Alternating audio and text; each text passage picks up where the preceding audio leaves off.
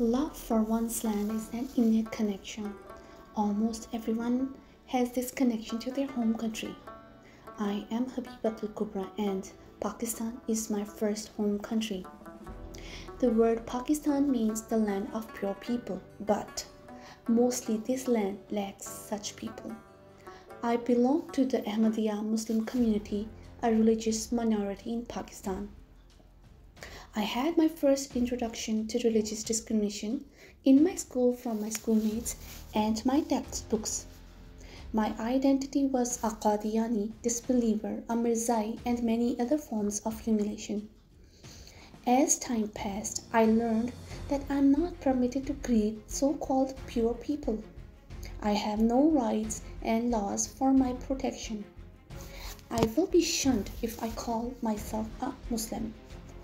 There is no punishment for the execution of Ahmadis. The people of this land have full power to desecrate my mosques. Moreover, every Muslim has to declare the Ahmadi community as a disbeliever to get an ID card, a passport, or any other government issued cards. Consequently, I am not eligible to vote in any of the elections. My status in my homeland was second, third, or maybe a no-name citizen even after being born there. The dilemma of discrimination turned into fear and uncertainty when there was a massacre in two of Ahmadiyya mosques on May 28, 2010 in Lahore. The terrorists were wild beasts armed with guns, grenades, and suicide vests. They killed 94 Ahmadis and caused injury to more than 120 people. Although it was not a new massacre, but it was more massive than all other massacres. I lost two of my uncles in this brutal bloodshed. After this incident, terror prevailed in our lives and replaced the love of the home with the fear of survival. My kids were raised in an environment of terror and were fully aware of their vulnerable status. Then, one day, my life changed suddenly when I got an opportunity to migrate to Canada. It was a life changing day for me when I was flying to a land of happiness and purity, a land of immigrants and refugees. This land did not claim to be the land of pure people, but I found the people of this land pure, welcoming, and protective.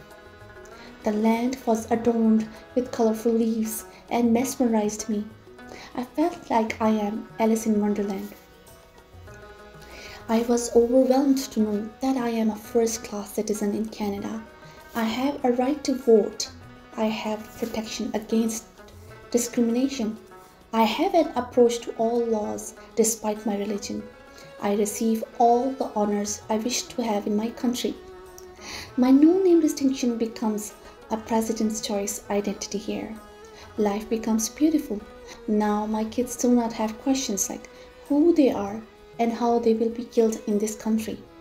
Furthermore, the magic of this country did not stop yet.